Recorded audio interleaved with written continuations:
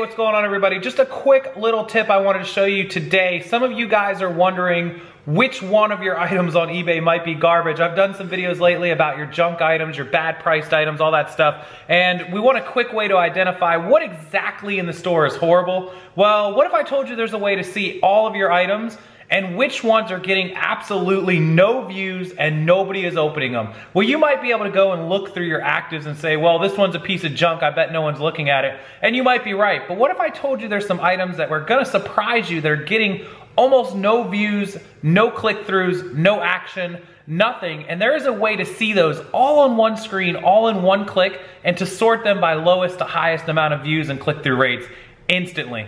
Well, there is a way to see all that. And I'm gonna show it to you guys in this quick video right now.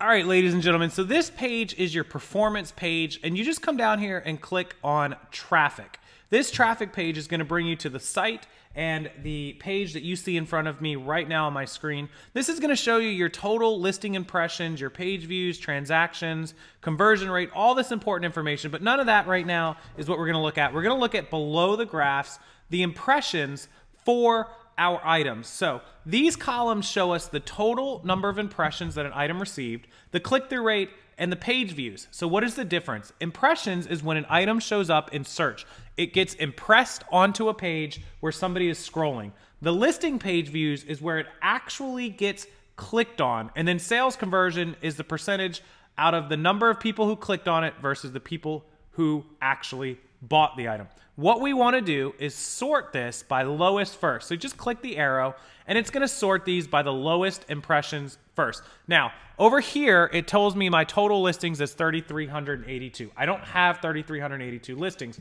So what this is is a combination of actives and items that have sold, and I believe I'm set to a 90-day total right now um, January, February. Actually, this is a 60 day total. So all the items that you've relisted, sold similar, your actives, your solds, all that is going to be included on this page. So keep that in mind that you have to make sure that the ones you're looking at are still active if you're going to edit them.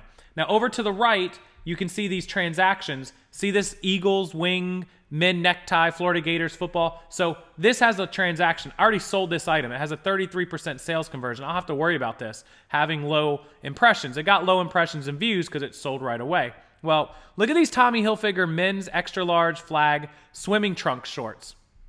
They only have five impressions. I think they've been up for like a week or two. They have no page views. Nobody's clicked on these and no sales, of course. There's a problem with these shorts. Am I overpriced? Uh, is my title crappy? Is my photos crappy? What is wrong with these shorts? Why am I not getting views or conversions? So I may need to go and edit these shorts, change the title, change the price, change whatever I need to change to start getting these things viewed. If nobody's clicking on it, nobody's buying it. So let's scroll down to another one. Here's a Robert Talbot Men's Studio necktie, 100% silk red. Again, only 42 impressions, meaning it's only showed up in search 42 times. Nobody's clicked on it, and of course, nobody's bought it. We'll keep scrolling down. Let's look at some more. Looney Tunes Mania Tasmanian Devil Tie. 49 impressions, no clicks. All things that I can go through and try to edit in order to get more views. Here's an iPhone 6 6S uh, protective case red, 70 impressions, no clicks, no transactions. Another thing that I need to click on to try to figure out why and if I can edit it. So you can use this screen right here to figure out what items are getting no views, no impressions, and of course, no transactions. So really great resource. Double check this, guys. Go over it. Um, it's going to show up again under performance and then traffic, and that will bring you to this page. So just a quick little tip. Hopefully that helps you guys out. I really appreciate you guys watching these videos. I'm hoping that all these tips and tricks and little secrets that I've shown you are helping you figure out why your items aren't moving. Sometimes it's bad photos. Sometimes it's bad titles. Sometimes your price sucks. Sometimes you're not getting views. Whatever it is, these tools will help you figure it out and in turn help you grow your sales. Thank you so much as always for watching. Make sure you subscribe to the channel. Make sure you check my description box down below for all the important links. It will link you to my eBay store, um, all of my Amazon products that you can buy if you need them. It helps me out. If you go to eBay and go shopping and you use the link, that helps me out as well. So I appreciate all of that, you guys. And uh, as always, I'll see you next time. Have a wonderful night.